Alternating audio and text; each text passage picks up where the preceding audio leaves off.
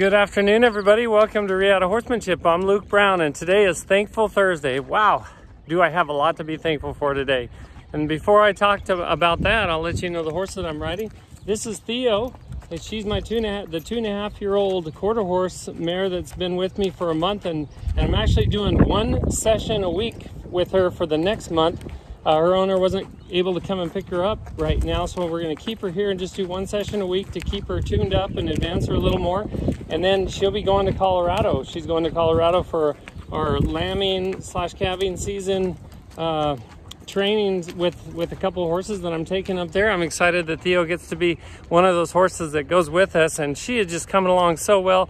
She she's had a few days off and just picked right back up and I'm reminded of something that Pat Parelli said one time. He said, if a horse really learns something and they're relaxed to it, uh, and yeah, they truly learn something, aren't forced into it, but they learn to accept something, uh, they will they will never forget it. And that can go negatively or positively, but hopefully if we give our horses more and more positive experiences, they will not forget those experiences and they'll just become a better and better horse and can have more time off without having to you know, keep them tuned up. And uh, today for Thankful Thursday, you know, last weekend we had our Reata Horsemanship slash Lady Horse Boss Building the Foundation of Your Dream Horse Clinic Part 2 and it went really, really well. I'm so thankful for all the participants that came and also for the hosts. Uh, last weekend, the host was Superstition Stables out in Apache Junction. What a great place. They've really made a big change in those stables. The new ownership last couple of years has made a huge change with those stables. And so if, you, if you're looking for a place to board, Superstition Stables is a great place to be. Uh, the, the ownership is awesome. The people working there are awesome. It's really a neat place and you can ride right just to the north, right into the uh, into some state land and then out into the superstitions and out down to the Salt River. There are lots of places to ride from there, as well as they have an arena and two round pens. So what a, what a wonderful place. I'm so thankful for them, for Superstition Stables, for the ownership, for taking the chance on me and, and doing a clinic there. They hadn't they they hadn't done clinics before there, and we, we were the first to do it, and hopefully we'll have more there, and they'll be able to host other people there. Uh, it was it was a lot of fun, and thanks to all the participants. There were nine people that rode horses. we did a lot of groundwork. We did a lot of riding.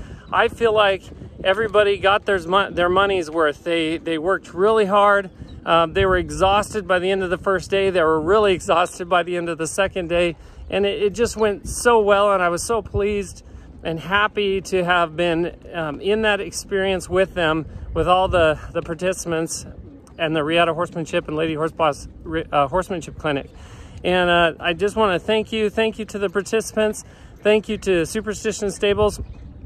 And last but not least, I wanted to thank P&M Arena for hosting the clinic a month ago. So on the 27th and 28th of February, we had a clinic at P&M Arena and that went over really well. We had eight participants and we had some, uh, some, some observers, some auditors that came and and just had a lot of fun there. And P&M Arena has always been really good to me at Reata Horsemanship, and I want to say how much I appreciate them. And if you if you don't have a year membership to P&M Arena, make sure you get a year membership. There's a family membership or a single membership, and you can get it for a full year.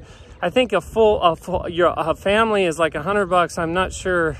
I'm not exactly sure, but I think it's like a hundred bucks for the whole year. You can go and ride there anytime as long as they're not clinics or, or ropings or anything going on, but you can also participate in some of the events for a discounted price.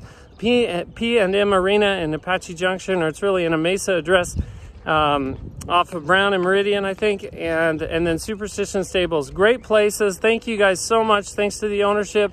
Thanks to the people that helped out, that volunteered that came to audit and also last but not least and especially the participants for being wonderful people, wonderful horsemen and horsewomen and for working hard to improve your life and to improve your horsemanship. Thanks for listening everybody. Have a wonderful day. Until next time, be thankful, live with purpose, live with passion, and as always, stay safe in the saddle.